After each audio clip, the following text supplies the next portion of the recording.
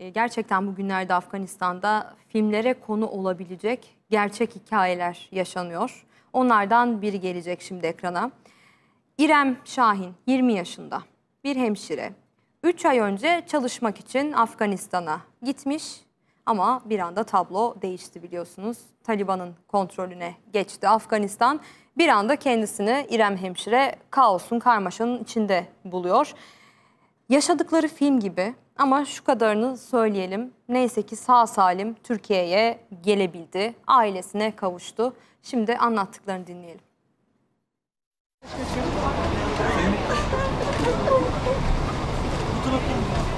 Uzun uzun sarıldılar, sevinç gözyaşları döktüler. Ailesinin endişeli bekleyişi bitti. İrem hemşire yurda döndü. Taliban'ın Afganistan'ın başkenti Kabil'i ele geçirmesiyle ülke kaosa sürüklendi. 20 yaşındaki hemşire İrem Kahraman 3 ay önce iki arkadaşıyla birlikte çalışmak için Afganistan'a gitmişti. İlk gittiğimiz zaman hiçbir problem yoktu. Kabil çok güzeldi. Normal hayat devam ediyordu. 15 Ağustos gününden önce bir hafta önce Kabil'de vermeye niyetleri yoktu. Yani burada bir sorun olmayacak diyorlardı. Ta ki Cumhurbaşkanı kaçtı 15 Ağustos gecesi. Ondan sonra Taliban girdi içeri. Taliban'ın kente girmesiyle de işler rayından çıktı. İrem hemşire de ülkeden ayrılmak için arkadaşlarıyla birlikte havalimanına gitti. Çünkü orada çok ezildik biz. Çok insanların arasında kaldık. Ateş açıldı e, patlamalar yaşandı.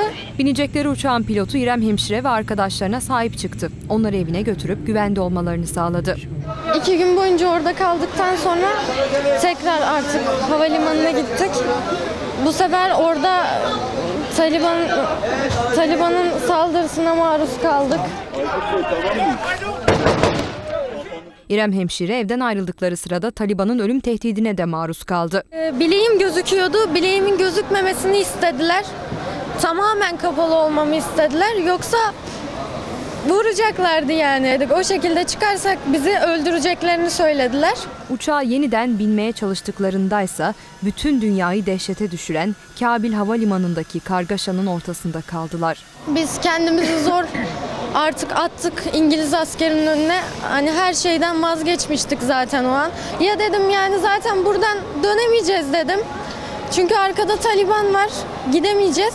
Bir elimde pasaportu kaldırdım. Bir elimde telefonumu kaldırdım flaşını. Pasaportu göstere göstere İngiliz askerlerine ben Türk'üm diye diye Yetiştim bir şekilde yetiştim yani o ezile kakıla artık o kırbaç gele gele yetiştik. İrem Hemşire Afganistan'da kalan 5 meslektaşı için endişeli.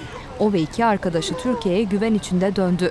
Anne ve babasına kavuştuğu için dünyalar İrem Hemşire'nin oldu. Onlara sadece sarılmak istedim onları. Tamam geçti kuzum. Hepsi her şey geçti Şu an, çok şükür. şu an çok güvende hissediyorum. Şu an en, en mutlu şeyim yani anım. Annesi Fatma, babası Mahmut Kahraman'ın da mutluluğuna diyecek yoktu. Şu an dünyalar bizim oldu yani gerçekten hiç söyleyecek bir şey bulamıyorum. Yanımızda ya hiçbir şeyin önemi yok artık. Mutluyum. Allah devletimize zeval vermesin.